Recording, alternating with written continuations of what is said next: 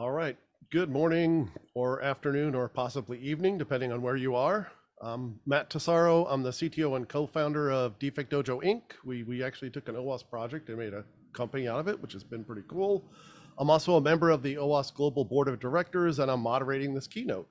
So I do have to say I'm very excited to see a global AppSec in Singapore. I think it's about time and it's pretty darn cool. Um, first off, I just wanted to thank all the attendees it's you attendees that make these events happen. So thank you very much for participating. We really, really appreciate it. And it's really that community, that larger, broader community that makes OWASP what it is today. So thanks for being part of our community.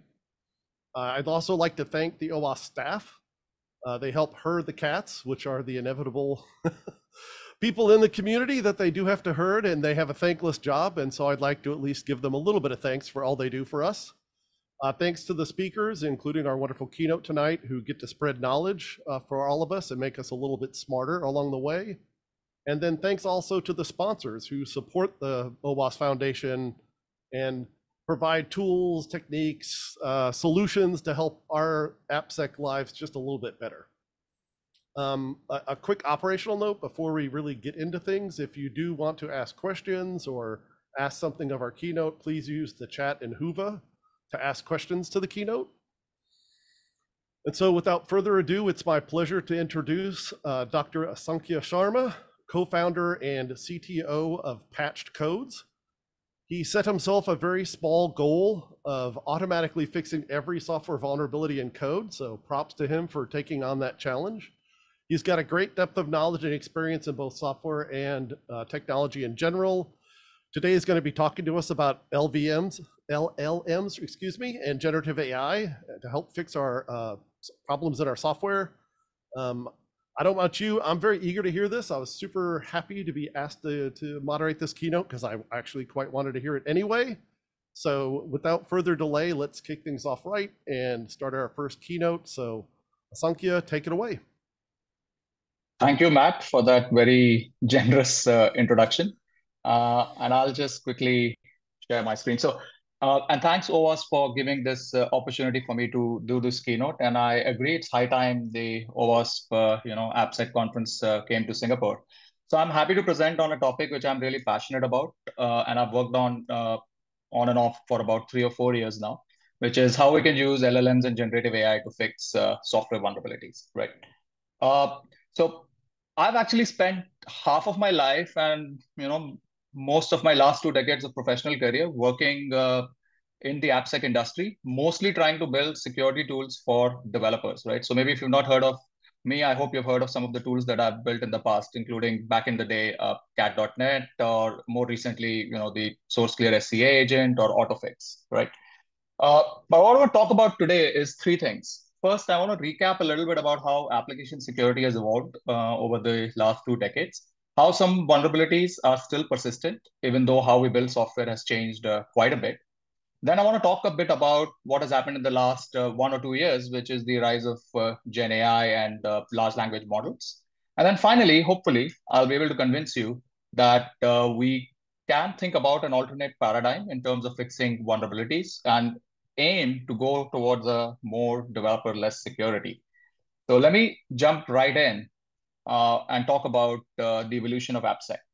And I thought, what better way to start than you know just uh, start off with the project OWASP is most famous for, which is the OWASP Top 10, right? And this is the uh, list from 2021, which is the most recent version, right? But if you look at how this OWASP Top 10 list of uh, AppSec uh, vulnerabilities evolved over the years, right from the first list, which was published in 2003, you'll notice at least two things. One is that vulnerabilities are very persistent in terms of types of vulnerabilities. So for example, injection flaws have been around since, I don't know, the very beginning. And uh, even though new vulnerability types keep coming in, uh, many of them are actually still in the top 10 right? So, and this has happened over a large, you know, in a period of two decades, right? So it's not like uh, two or three uh, years or something. So, and if you think about how software has evolved in, uh, or how we build software has evolved in these two decades, it's really surprising the fact that we still keep making the same kind of mistakes, or we still keep making the same kind of errors when we build and design software, right? Now, uh, we have witnessed major changes in software development. Uh, just try to recap a few here. Uh, we've seen a big shift from proprietary software to open source. We have seen shifts from you know on-prem to cloud computing, building monolith apps to assembling uh, services using APIs. And also, uh, we have tried to break down the uh, the silos that exist within development teams, whether it comes to development, operations, QA, and move towards a more DevOps philosophy, right? So this has enabled us to build really large, complex piece of software, uh, and we have gotten a lot better at you know avoiding vulnerabilities in software. But uh, still, we have the same problems in some sense what we had you know 20 years ago. And uh, I would like to dwell into two particular trends here. One is the DevSecOps, and another is about shift left. So I'm sure all of you must have seen uh, you know, charts like this where uh, either this infinity symbol or these overlapping Venn diagrams, right? Where we say, okay, we have uh, with increased automation, we have sharing of responsibilities, we can actually do a lot more. Uh, and then we can include security as part of the uh, cycle and then we can have you know all of this uh, together and we can manage it as part of one process with the uh, uh, as part of DevSecOps, right? Now, often to imagine the future, it's good to actually look at uh, what trends are there today and take an extreme position of it, right? So if you imagine how we went from maybe silos of DevOps testing to DevOps to DevSecOps, uh, what is the future? What the future might look like, right? So there are certainly more activities or tasks that you need to do as part of building software. So how many circles can you add in and how, what the overlapping circles would look like? And at the end, the intersection might, what that intersection might be, right? So if I think about it for a second, we don't want to our ops to evolve in this way, uh, but uh, there are certainly more activities that we do in order to build and support software, which uh, could be automated to an extent uh, which is not done today, right? So if a year ago you asked me, like, is it really possible that we can do all of this together in one place and just supported by process, people, and uh, automation? I would have said maybe not. Uh, but in the last year or so, we have seen tremendous improvement in uh, autonomous agents or generative autonomous agents. And I do think that in the near future, it is possible to automate all of that as part of, you know, autonomous agent making decisions completely uh, with minimal human intervention, right? Or maybe a generative agent ops. So I'll park that thought in your mind and talk about the second trend, which I mentioned, which is around shift left. Uh, so the idea here being that if you can focus the security team and the tooling earlier in the development cycle compared to where it's typically applied, you can reduce the overall cost of fixing security uh, defects as well as the number of defects that happen, right? So uh, I know people talk about shift left, shift right, shift everywhere, but I think everybody agrees that doing more uh, of this earlier in the cycle can actually help you reduce the cost of fixing defects overall, right, or flatten this uh, particular curve. Uh, but what it means is that we are actually putting increasingly more and more burden at the development stage of the cycle or at developers, right? And if anything, the last 20 years uh, have taught me that developers don't really care about security, no matter how much we want them to, no matter how much we try. And we've spent a lot of time and effort building security tools for developers. Uh, but I think finally it's time to do something different or really flip the paradigm and talk about building developer tools for security tasks. With that, I'll jump into the second part of my uh, talk today, which is on the rise and hype of generative AI. Now, we will focus ourselves today only on what we call like code large language models because uh, we really want to figure out how to fix vulnerabilities. And in this space, uh, if you think about OpenAI, uh, how they have evolved their offering or language model, they started earlier uh, a year and a half ago with Codex, which was a 12 billion parameter LLM, which they piloted with GitHub Copilot. Uh, it was a auto completion uh, or you know left to right code generation model. So you could just give it a doc string or a piece of code, and then it would try to fill up what would come next in just uh, in an auto-complete way. But if you look at how that has evolved, they went from a model which can do code generation to a model which is fine-tuned to follow instructions to a model which is chatty. So this is really the model behind uh, ChatGPT, all the way over to GPT-4. And in tandem, they have evolved their offering for developers from you know just doing Copilot, which does code generation, to Copilot for business, all the way most recent one is the copilot x which actually allows you to chat uh, with your code in the terminal or in the ide and it uses gpt-4 right? So two trends to look here. One is that uh, initially they did train model only on code but i think over a period of time they realized that a model uh, or an llm which is good at code uh, related tasks is a model that is good in general. So from the the Code Da Vinci, there was another Text Da Vinci where they had a separation between natural language versus code. But since uh, ChatGPT or GPT 3.5, it's just the same model, right? So uh, if you're looking to build a model which can do good uh, reasoning on code, it needs to be a model which is good in general. So it needs to be trained on natural language text as well, right?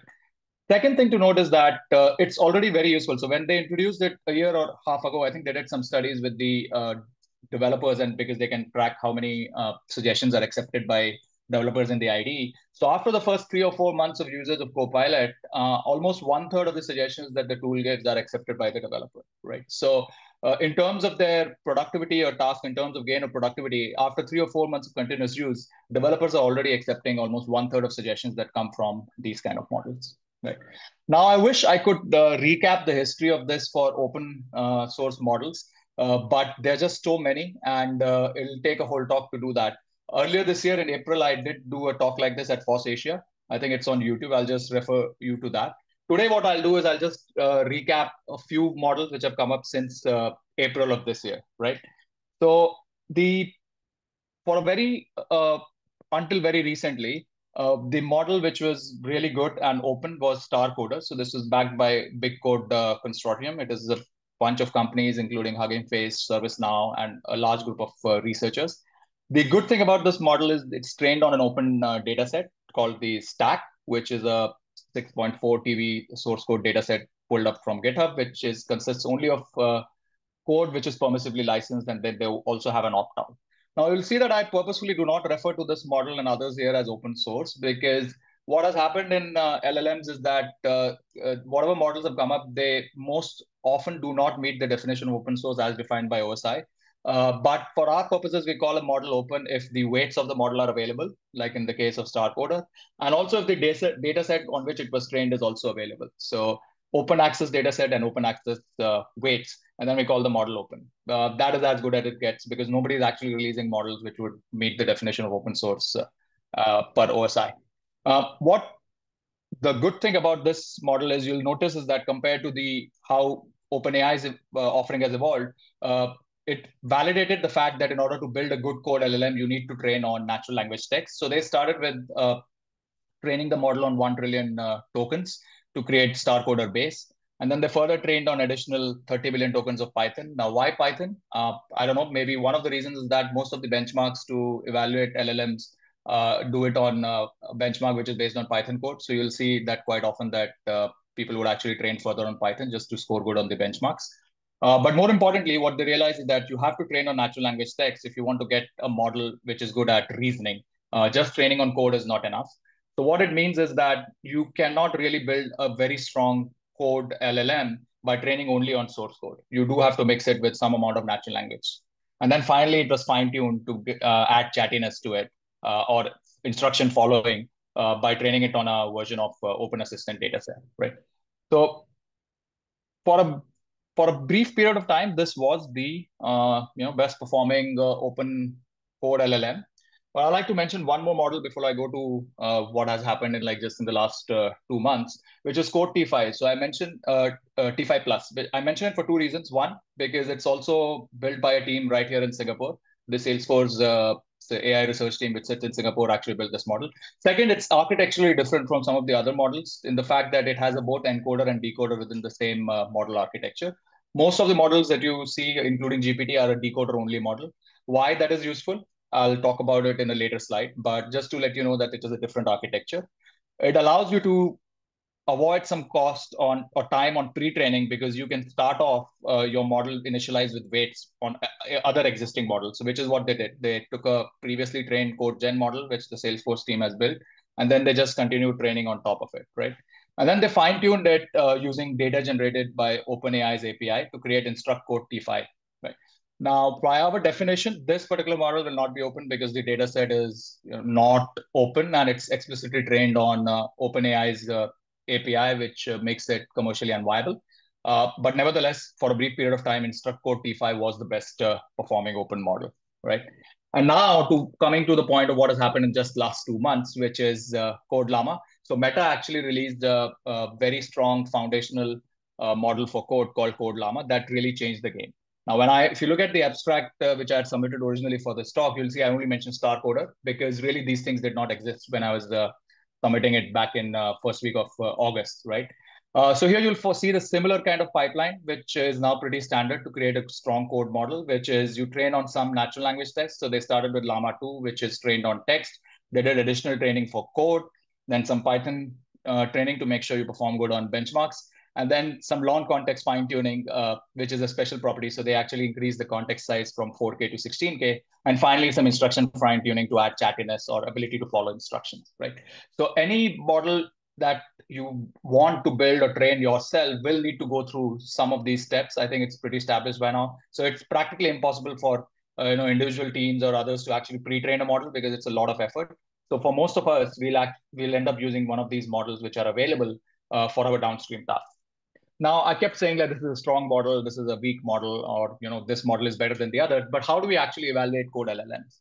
So it turns out most of the evaluations mention something called human eval, uh, which is a data set of 164 handwritten Python programs with unit tests to check functional correctness. So examples uh, from this data set include things like this. So increment list. Uh, so there'll be a function prototype and then some docstring, which will have some tests in it. And the part in yellow is what the model is supposed to output. And then it'll be verified to check whether it follows all the tests when you do the synthesis. So this was originally introduced by OpenAI two, three years ago in their paper on evaluating large language models trained on code. But uh, it has become the standard for better or worse. So every code LLM that we uh, people publish, they usually tend to evaluate first on human eval. Now, if we look at how it stands today when it comes to closed versus open model, this is kind of how it looks like. So GPT-4 is still the strongest performing model uh, on human eval. Uh, here, zero shot means that you do not do any prompting. You just take the model as it is and do completion, uh, as compared to one shot or two shot where you may give some examples. Pass at one means you only take one generation. So typically earlier people used to report pass at one and pass at 10 results. So where you sample 10 outputs and then you compare how many of those are there. Uh, but the models have gotten better. So now we are just reporting pass at one. So GPT-4 is already at 86. You see Code Llama at 53, and then I mentioned Star Coder till uh, you know before the, uh, August 1st to second week when uh, Code Llama was released was the best performing model, and then Instruct Code. So in this space of you know open versus closed, we are somewhere here. We have not really reached the point. Most people expect over a period of time open models to become better at uh, various tasks, but as of today, uh, unfortunately or fortunately, GPT-4 is a best model for a variety of tasks, including uh, for tasks requiring uh, code or source code or bug fixing or vulnerability remediation, right? Now, but things change very rapidly in the open uh, source world. And to give you an example, there's this uh, leaderboard from uh, Hugging Face where they evaluate models continuously and people are free to submit their models. And just since Code Llama came in the last two months, you'll notice that at least two groups have managed to improve a uh, lot further on the baseline. So one is the Wizard Coder, which is a group uh, based out of uh, Microsoft Research Lab Beijing, and another is a startup called Phind, right? So they took Code Llama uh, 34B Python and they further fine-tuned it to achieve uh, much, much better results uh, on the human eval benchmark. So today for code generation, if you really have an option, uh, these are the kind of models which are available. So you have GPT-4, which is still the best, and then you have Phind, Wizard Coder, and Code Llama. Now, Phind and Wizard Coder are highlighted because they don't meet our definition of open because the data sets are not available.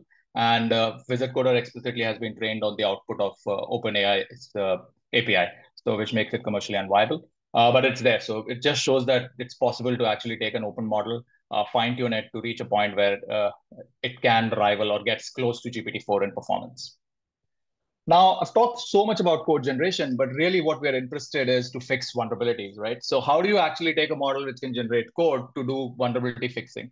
So there are a couple of ways. One is you could train the pre-train the model on a different task instead of causal left to right language modeling. You could do masked language modeling where the model is supposed to fill the gaps in the text, or you could do uh, fill in the middle kind of training. But even if you haven't, what you can do is you can trick the model which does code generation to do uh, infilling. So the way it typically works is for fixing bugs or vulnerabilities, you have some code before, you have some more code, and what you're doing is you want to make your change in the middle, right?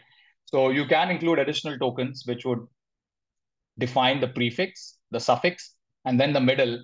And then this is just to train the model to generate code from here. So in the training set, you split it this way and then just generate the code at the end and then you can take this token and then put it back in, right? So you can trick a model which can do code generation to do infilling uh, by fine tuning it further with additional uh, uh, Sentinel tokens.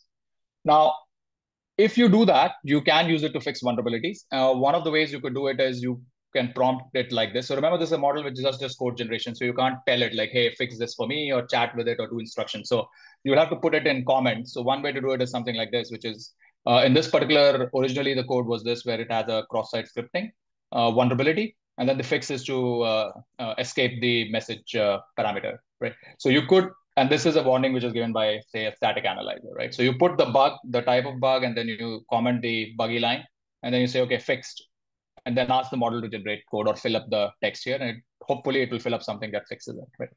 Now, why this particular prompt? Because in this paper on examining zero-shot vulnerability repair with LLMs, uh, they tried variety of prompts, and what they found was like something like this works well in practice uh, to fix a number of vulnerabilities, right? So if you can use this to fix vulnerability, how much further can you go? So if you think about the whole roadmap of uh, what I promised in the abstract, which is uh, fix uh, vulnerabilities to the extent or rivaling what a developer in your team would do, it looks something like this. There are many different steps to reach there. With doing just pure code generation or tricking the model to do infilling can take you up to you know 30% uh, of the fixes. But beyond that, there's still a lot more room to uh, work with. And hopefully for the rest of the talk, uh, I will try to go through this and try to take you through a variety of techniques and tricks that you can use in order to use as close as possible to 100%. Now, this uh, percentages, they're not built by any scientific study or data. It's just based on experience. Uh, and later I'll show you some uh, studies that others have done, uh, which uh, tells us that why this rule of thumb is a good, good thing to go with, right? but remember what our end goal is. Our end goal is to fix vulnerabilities in the same way like a developer would do, which means it has to be across multiple steps. It may have to go across multiple files. It may have to work for an enterprise's private code and so on?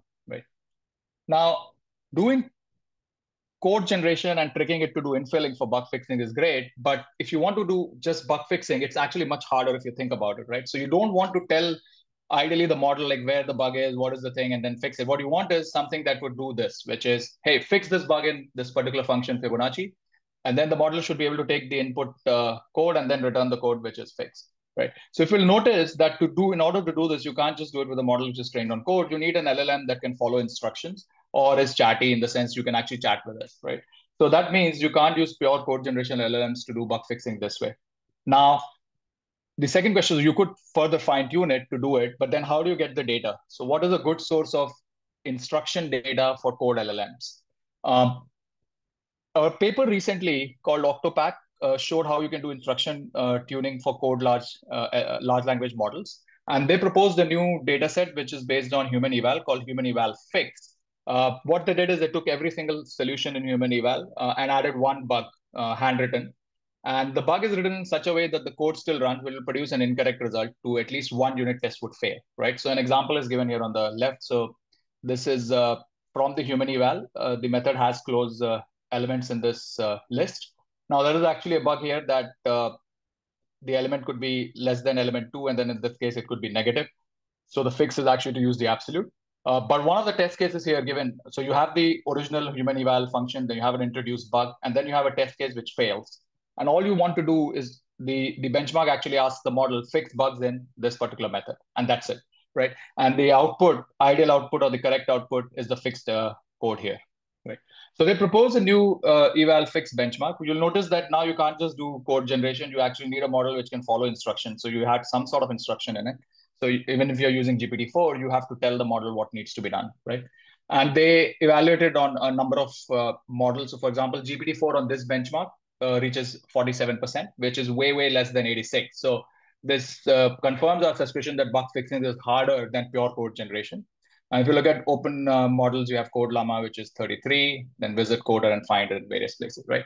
Uh, but if this is a good benchmark to do this, the next question is, uh, how do we actually tune a model or how do we, there's a big gap between Code Llama and GPT-4, right? How can we do better uh, to do this? So the answer is you could do fine tuning, but what exactly would be a good data set for it? So you could write it by hand, but that's not going to scale really well, right?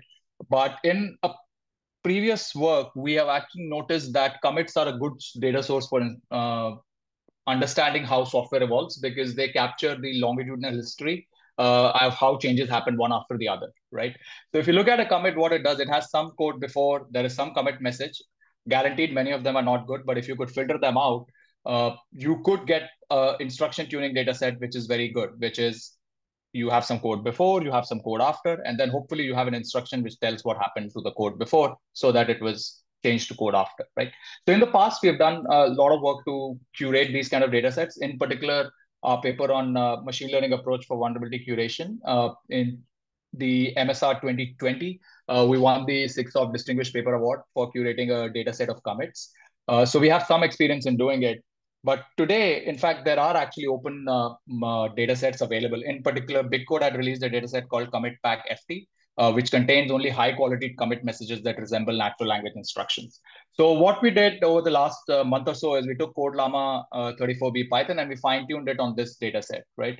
And we fine tuned it in, in a way that will explicitly take into account the commit. So we fine tuned the way to prompt the patch coder model is to give it an instruction, which is where we put the commit message and then give some input, which is the code before, and then the model is supposed to give the response, right? So this is the patch, the code before and code after.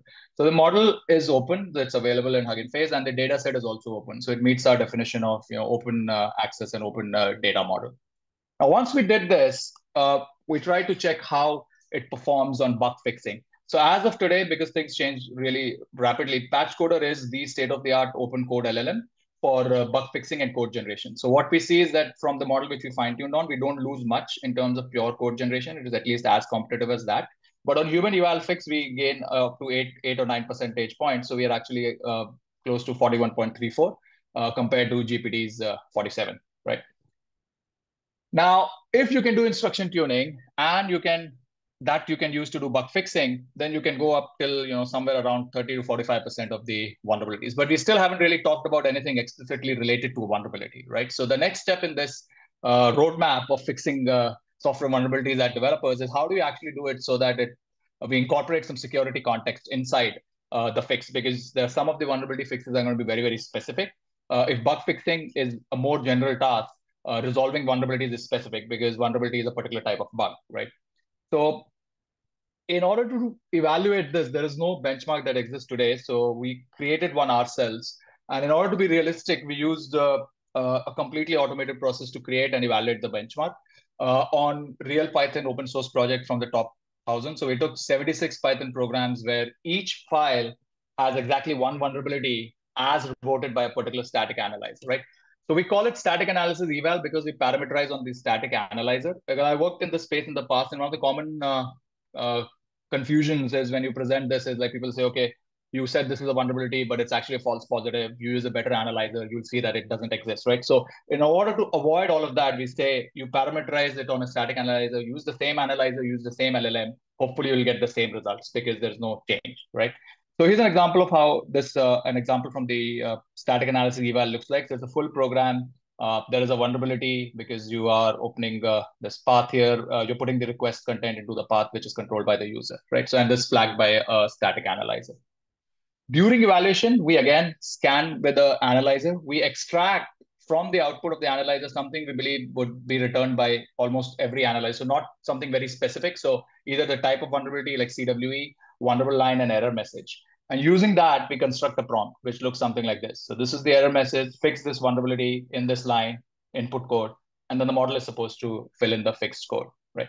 How do we know it's fixed? Well, you could review it, or what we do is we actually use the same analyzer to check again and see if the error message goes away. And for those where the message goes away, we review it by hand, right? Now, if you follow this process to evaluate on static analysis eval, uh, you'll see that uh, GPT-4 is still the best model, which uh, cause close to 55% of the cases. Uh, Patch Coder is uh, the best open model which just around 51 to 32, 51.32% uh, of the cases. Now, what did we add from the bug fixing? All we added is just really the context. We didn't really fine tune it on any vulnerability related data. We just used the same uh, model, which is fine tuned on commits. And then all we did is we added some security context in form of the prompt. And that also comes from the output of the analyzer. So it's not coming uh, from somebody else. It's just completely automated, right? So with this, you can actually resolve vulnerabilities effectively. So going from a model which is instruction tuned to a model where you can prompt it with the right security context will take you up to 50, 55% uh, of vulnerability fixes, right? Now, the rest of this is things or tricks which you need to do, which are independent of the model you use. So How do you do it in a private code or an enterprise code? How do you do across files with many steps? You could use it with any model. So uh, you could use it with GPT-4, you could use it with Patch Coder, you could use it with any other model and see improvements in it, right? Because these are actually set of tricks. Now, what do I mean by private code? So you'll realize that often in an enterprise, the fix for a vulnerability where they've written a lot of proprietary code may not reside in something that uh, is outside or in open source, right? It may use types or things which are specific to that code base. And how do you do this? Because if you take a model which is trained, uh, they don't have any memory of your code base, right? So one way to do it is to use what is known as retrieval augmented generation.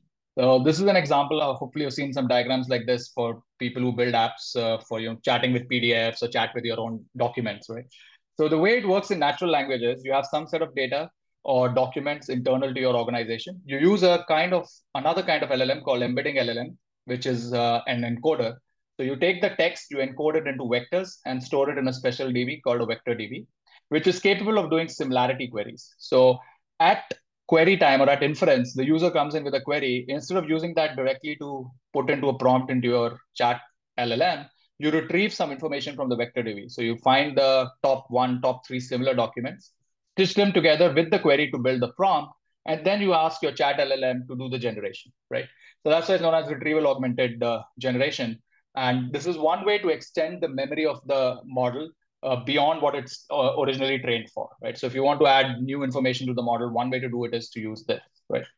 Now we could do something similar for code. Um, and I mentioned I'll talk about uh, why Code T5 Plus is uh, unique, is that is the model which has both encoder and decoder in the same architecture.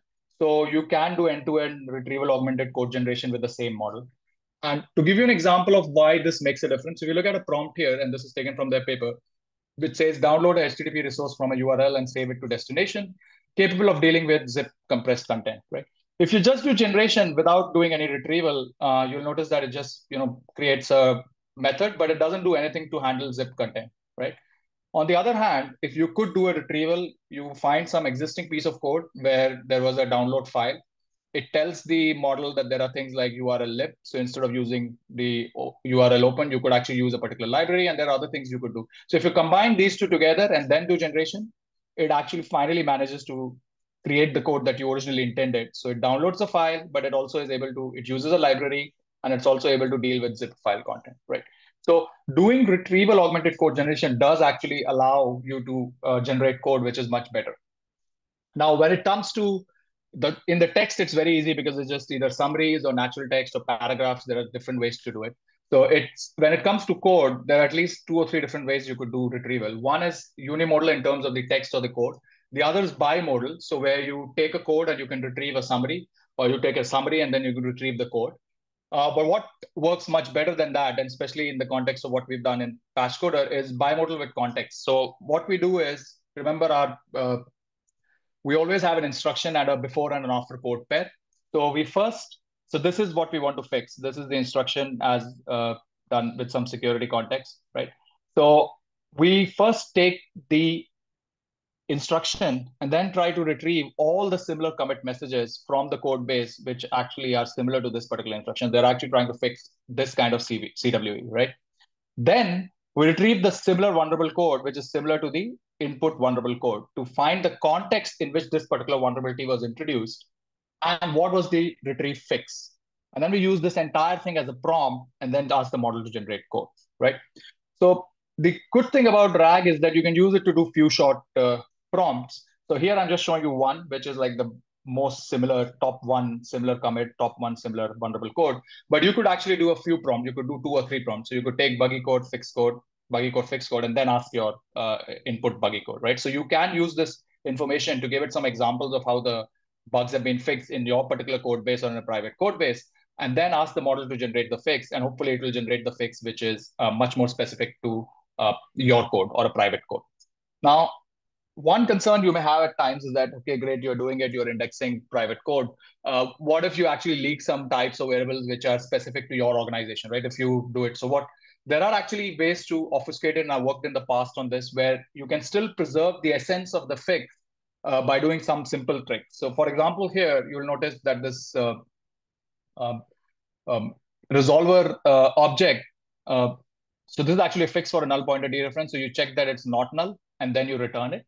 Now, if you want to preserve these types, you don't want them to leak, you could actually obfuscate it something like this. It will still preserve essentially the structural fix, which is that I have a variable two of class three, which I check for null uh, dereference before I actually return. So you could still use, it is still a useful fix for the model. And it actually preserves the types of the, that might be specific or private to the organization. So there are simple ways to obfuscate to preserve structural fixes like this. Now, how much further can you get ahead with doing this, right? And I told you that the roadmap that I'm showing you that based on rule of thumbs, uh, but uh, this paper from uh, Microsoft Research called InferFix, they actually tried it on a real code base and they noticed something very similar. So first see that codex, which is just a completion model in our thing, it will be called code generation. Uh, and this NPD is null pointer dereference. So it's able to fix 6%, then an instruction model, which in our case for bug fixing, it's like DaVinci. 40.5, then further fine tuning, and finally with RAG, you can reach all the way up to 60%, right? So at least in this study, you can go from 60 to 82% of the uh, uh, vulnerabilities can be fixed by following this. And you'll notice that this progression, which I'm showing you in the uh, roadmap, is actually still valid. So you go from zero to uh, 16 to 30 to 70 to 80%, right? I'll refer you to this paper. They have some other interesting ideas there as well. So hopefully with RAG, you can actually get close to 60, 75% of the vulnerabilities, right? And this also allows you to pull in inside your context things which are uh, temporal. So if something happened in the past or you fix the bug in a past in the similar way, you're able to use that information in your LLM and generate a fix today, which is specific, right? Now, how do we do it across multiple files, uh, which is spatially, right? Now, one why you might need it is is the same uh, example. So this is where we're calling this method get resource resolver, and there could be a potential null pointer dereference here. Now the static analyzer may give you a warning here, but the actual fix might be in the method definition, right? So what you want to do in these cases is not pull up the previous thing, but pull up other things in the space in terms of the current code base, other files which are relevant to the fixing of the vulnerabilities. You want to pull up all related code. And the related code might be something very simple, like in this case, uh, method uh, definition uh, which you need to add in, or it could be something more complicated. So I've seen people do try and attempt to do things like this with GPT-4, which is they just give it the whole file structure and then they ask the model itself, what more do you need, what more do you need, and so on, right? Unfortunately, this is not likely to work really well because as we know, uh, LLMs are not really very good in uh, relational reasoning. So in fact, there's this recent paper talks about the reversal curse, where a model trained on A is B doesn't learn that B is A, right? And if you want to do even simple call graph analysis, you do want the ability to say that if A is called by B, then B is calling A and so on. Uh, but thankfully, uh, for us, I have a PhD in static analysis. So my method to do this is to actually use uh, this analysis outside the LLM. Uh, in particular, uh, there are like a couple of types of analysis you can do which are useful. So one is the reachability analysis, uh, which we have done in the past for, in the context of SCA. Um, so you could actually, so for example, in this case, the method that is changed has an additional parameter. So everywhere this method is called, you want to pull it into the context because the fix may involve uh, adding another uh, uh, reference to the call of the method. So you can do that with reachability. Or you can also do impact analysis, which is very useful in API migration. So if you're going and upgrading your uh, library from a version A to B, what are the places in which you need to make the change so that the upgrades are successful, right? How to do this impact analysis. Uh, we had actually published a paper in FSE 2019 where we talk about that. Um, but you can actually use these kind of existing analyses to pull up the relevant context in related code and then use that as a prompt for your model, right? So with this, you can get all the way, you could do multiple files or multiple functions, but you still can't do multiple steps, which is how a human developer would solve it, right? So instead of doing one uh, short uh, fix directly, at times you may have to fix it in multiple steps. So how can you go and do that? So for this, I'll introduce the last thing that we looked at, which is static analysis augmented generative agents. And I was really struggling to create a slide for this. But thankfully, last week, a paper from Microsoft Research came in where they talk about this in the context of CodePlan, which is repository level coding. So you'll see it has all the essential elements from stack. So they have dependency analysis or reachability analysis. They have impact analysis. The additional thing is that model is able to do planning. So it knows what tasks are completed and what are the next code changes that are required in order to fix the model. So the prompt now looks something like this. So these, you have the task, which is to fix a vulnerability. Then there are some temporal contexts, which has been pulled from RAG. Then there's some spatial context, which is pulled from SAG by analyzing what are the related blocks. And then this is the new thing, which is based on a plan. So this is the code that needs to be edited now, which is related to another step that you did earlier by a particular cause, right? And then you ask the model to edit that code. Now, this could be arbitrarily complex, so not just simple calls. It could have number of relations. Uh, and just to give you a sense of like why or how it is uh, useful, uh, so here is an example where you go from console.writeLine. There's API migration to output.writeLine, right? But it's done in different steps, and all the steps are executed by the model itself. So at first, it changes this to output. Then it adds another uh, uh, field inside the class. Now, an impact analysis would tell us that, okay, the constructor for this class does not initialize this. So then it goes back and adds this to the constructor. Then it realizes, okay, great, this is fine, but uh, my create subscriber is calling the old constructor. So you have to update that. And then finally, for the uh, sync subscriber test class, you have to again update the constructor to include this model, right? And at this point, the, there are no build errors and the model can terminate. Right? So with these, hopefully, you I presented to you with a roadmap of how you can go from a simple code generation all the way to fixing vulnerabilities as a developer would do, and what are the various things that you need to do in order to reach there, right? Now I move on to the last part of my, sorry.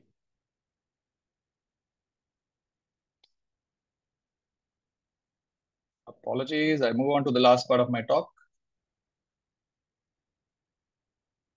Which is uh, how actually various communities have uh, taken up uh, Gen AI, right? And why do we think that uh, for development it's more likely to be automated, right? So if you look at how artists have approached Gen AI, is it's been with the fear because they think their craft is more creative and they've used words like theft and stealing and so on. But if you look at how programmers have approached it, they're like, okay, finally, we were really waiting for something like this because there's a lot of tasks that we do which are boring, mundane, and repetitive, and we would rather have a computer do it, right? Another reason is this from McKinsey's uh, the economic potential of Gen AI. Uh, so it's a fairly detailed study looking at every single job role and what are the detailed tasks and activities and how much of that can be augmented and uh, automated and obviously, we have some of the things like sales, marketing, customer operations, but they expect a large amount of uh, software engineering tasks to be uh, impacted by Gen AI, right? So, given these two things, and this is my final uh, slide or something for you to take away with is so we have tried DevOps, we've tried DevOps for a while.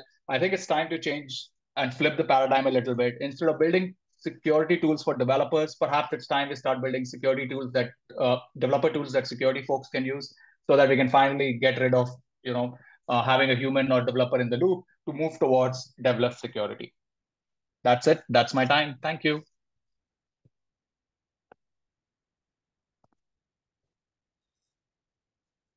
Awesome. Thank you for that talk. Um, uh, some questions came in, and I encourage the audience if you do have questions, please ask them in the chat in the Whova Whova app. Um, one question that came in how can enterprises ensure that AI generated fixes uh, match or align with their coding standards and their requirements for their business, right? Businesses have those coding and, and business requirements. Yep. How do we make sure AI does that? Yeah. yeah. So I think I kind of touched it on a little bit, uh, which is through retrieval, you can actually bring in the context of an existing code base before you do generation. Uh, but if you want more control, one of the ways to do is just to fine tune on an enterprise's own code base. And that's one of the reasons why open models shine when compared to, say, a GPT-4.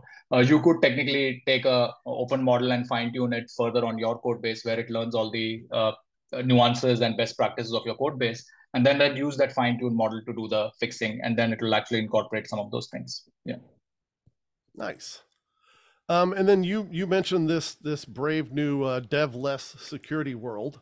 Um, how do you envision that collaboration or collaboration to happen between the developers and security slash ops people in this, you know, future world you're seeing? So what we're trying to aim for is, so I mean, I hopefully I showed you that uh, developers are already accepting 33% of suggestions from Copilot, right?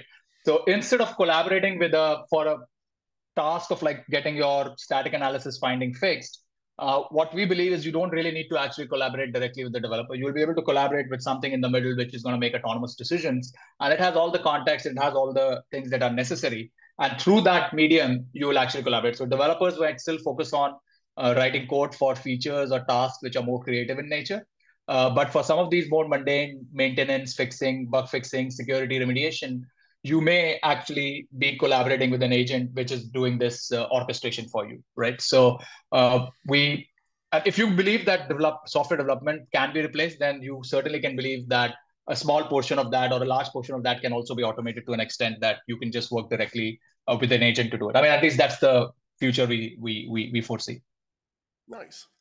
And then with the experience you have in the software industry and the work you've done in the past, um, how do you see the future of AppSec changing, right, and evolving with this new integration of AI and LLMs into the mix? Like, how is AppSec going to shift?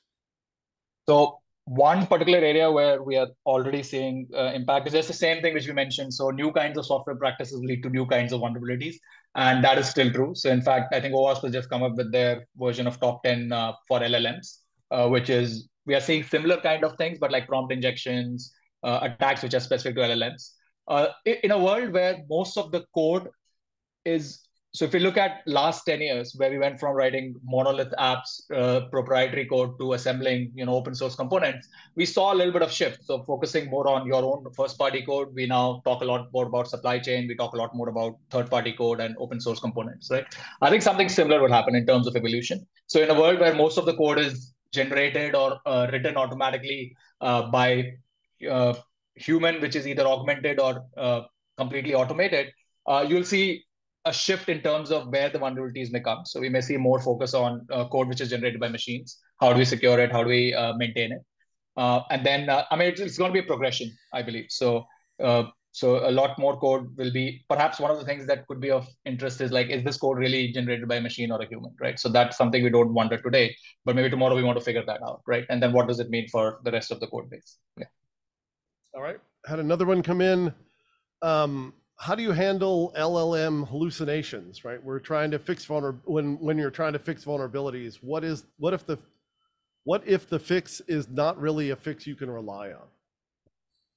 Uh, so there is no easy way to do it. So one reason why we uh, fine tune the like the patch code not on cattiness but on specific things like instructions uh, is to make sure that it can only do the things that it's been asked to do, right? It may still generate a fix which doesn't fix. There's no guarantee, right? So in the beginning, you may need to have a human in loop. Uh, you rely on it in the same way like you rely today on many other things. You rely on existing test cases. You rely on, uh, you know, pull requests, merge requests, and things of that nature. Um, but over a period of time, hopefully it can learn enough information to the point that it can do 80 to 90% of the job, which uh, doesn't require human review. And the rest of it, you will still need to uh, rely on it there's no easy way to fix hallucinations. Um, there is uh, one way to do it is to make sure the model is dumb in the sense that it doesn't have open world interpretation. So it and that's one of the reasons i didn't mention too much here is you can use gpt-4 to do a lot of this but when you take the response you'll notice that you have to do a lot of post processing because at times it would add explanations inside where if you really want to use it as part of a pipeline where you're doing fixes you don't want that text to come in. You really want only the fix of the code to come in right so fine tuning can solve a little bit of that, um, but uh, there is no there's no easy way, especially with models which are more capable. It's hard to control their generation. Makes sense. Yeah, hallucinations, fun aspect of LLVMs.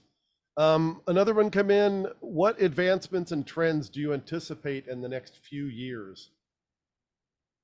And this is with respect to I'm assuming with respect to LLVMs and their use with okay. AppSec and bug fixing. Yeah. So one thing which I kind of alluded is so right now the open models are not nowhere near as capable as GPT-4, right? And they are not even as capable as ChatGPT, for example, for a broad spectrum of tasks. Uh, one hope, or rather, uh, is that uh, we do have a model which is open enough uh, for anybody to download and use, uh, which is as capable as what GPT-4 is today, because that will open a lot of uh, more possibilities for people to experiment and use. Um, uh, other is uh, we are really just scratching the surface in terms of what autonomous agents can do, like with these various co-pilots and things of that nature. And that is that goes beyond LLMs because it involves a lot of aspects around planning and task planning and reasoning, and which LLMs today are not that capable of doing. I just showed you an example, the reversal curse, right? So hopefully, uh, so one way to avoid that today is what we use is just we use the plain old static analysis and do it in places where we need and give LLM the ability to control that analysis. But in future, uh, if models uh, get better at reasoning, then some of that could be subsumed by the model itself. So you could ask some very complicated, uh, like actually, does this method is called from another place do this? Like you could ask a model a question like this, and it would take the repository and make the change directly without having to rely on external tools. So that's the other thing I anticipate. So you just inspired a question in me, so I'm going to cheat and jump the line because I can. Um, if you're using uh, SAST to augment and otherwise uh, improve LLVM output, how do you handle false positives that SAST would then inject into your model? You get what I'm saying? Like it, it, SAST isn't perfect. Yeah. If I'm putting imperfect data into the LVM, what's the downstream yeah. effect? Or how yeah. do you, so, you know. Uh, protect against that? Yeah. So so far we haven't done what like we haven't used the output of SAST to uh, train or fine tune a model. What we're using it is really as a tool. So the model controls the SAST and the output, and then it does make some decisions. There could be false positives in the sense, like even in the impact analysis, maybe it finds a thing which is not really impacted, but it's conservative and it says it's impacted, and then you make a change and that changes it. Uh, what we do today is to rely on, uh, like I mean, in terms of the build. So if it is a, it doesn't work, then it's not correct, and then you fail the build. Otherwise, you still rely on tests. I mean, there is at the end of the day, uh, it's not going to be 100 100 percent. We can get to 80 90 percent, but at the end of the day, there is always possibility to create cases where uh, you may still need a human in the loop, uh, especially early on, uh, to to validate the findings. Otherwise, the way to do it is still the same, which is have tests. Uh, rely on the build, the compilation output, the existing tests, and then finally a review from a human when the pull request is submitted. Is there a, is there a, this is another question I'm just coming up with because I'm thinking about things now. Is there a, a, a, fundamental difference in using interpretive languages versus statically static languages? You know, the Java, the C sharp uh, world in terms of the you know the ability for for uh, LLMs to reason about those. Uh, so for LLMs, not really, because they've been trained on so much of the data. In fact, there's also a lot of benefit of cross uh, languages. So just the fact that you train it on Python, it does much better in benchmarks on Java and uh, uh, C sharp and so on. In terms of using a static analyzer as a tool, there is because it's easy to analyze some languages versus other.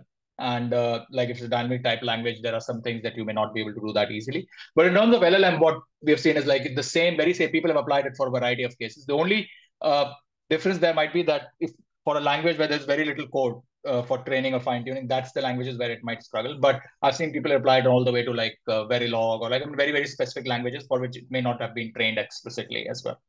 So and you have to think like, why is it possible? Because it's the the amount of data that is used in pre-training is leaps and bounds more than anything we've used ever in machine learning. It's like it's a trillion tokens. It's like every possible possible piece of code ever written in some sense, right? So when they train on this such large data set, so uh, it has good uh, general capabilities for coding, regardless of the language, and it carries over with in terms of transfer learning as well.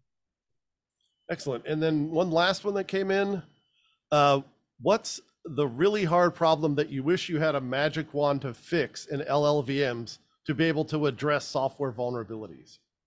Uh, I think it's around reasoning. So, and it will fix a lot of other things as well, not just software. So, hopefully, one thing I was able to convey is that a model, a large language model, which is good at doing coding tasks is going to be large language model in general. That's what we have learned from. Like you have to train on both code, and and why it happens we don't really know. Uh, but uh, uh, one hypothesis is that like you know programming is like logic and it's like you know Curry-Howard isomorphism. So reasoning is really programming, and programming is reasoning. So uh, one thing I would want the models to get better at that is like explicit uh, reasoning. Uh, and maybe the architectures of current models is not suitable for that. It really goes left to right. Uh, but uh, if you could have a model which is capable of reasoning much better, the same way we do program, because what we're doing today is we sometimes we ask the model to generate code, execute the code in a code interpreter, get the output, and then put it back in the model, right? And that works because we are using the code as a way to do reasoning and step-by-step uh, instructions and following what we want to do. That works today. Uh, if that code interpreter part could be subsumed by the model itself, I think then you could do a lot more things uh, explicitly rather than use it either as a function from GPT-4 or as an explicit API. So I would want models to get better at uh, uh, actual uh, reasoning in terms of planning and uh, things of that nature. Makes sense. And then uh, one other one that came in, just what's what's next for patched codes. Like what do you what is your next step? You've talked about how you've improved models. You've done a lot of training the the using sast using the the RAG. I can't remember what that stood for. I remember you saying it. Like how, how do like what's next? What's the next interesting thing that you think has potential to even move the needle farther? So one thing we have done is because of our background, we focused explicitly on vulnerabilities, but this goes beyond vulnerabilities. I mean, there are many other cases. So except for pure code generation where you are, and I'll again take the same analogy I took from SCA versus SAST, right? So what we saw is people earlier used to write a lot of business logic, like 80, 90% of code was first party things you wrote. Now it's flipped, like 80, 90% of the code is third party. Something similar might happen where in future, like five or 10% of the code is what is human written but the 80 95% of the code can actually be automated and most of it is repetitive maybe it's bug fixing maybe it's more maintenance tasks api upgrades like in general patching not just related to vulnerabilities right so uh, what we showed probably is like a roadmap of a, how you could approach this but you could apply it in multiple places with code maintenance uh, api migrations uh, fixing other kinds of bugs which are much simpler hopefully uh, to the extent that we can automate most of the tasks that a developer does uh, and what is left over is just really something that they have to do on their own. Yeah. Nice so you, you hopefully won't be uh, well i shouldn't say hopefully but you won't be out of a job anytime soon you've still got a little bit of work to do For sure, yes. it's it's amazing that the, the the better the mousetrap, the smarter the mice get all the time. Exactly. Uh, that was all the questions we got. I really appreciate this. This was super interesting. It was interesting to see the the evolution and the different uh, iterations that LLMs have gone through over time to try to get us closer and closer to a a magic button to fix all our vulns. Thank you. Thank you so much, Matt.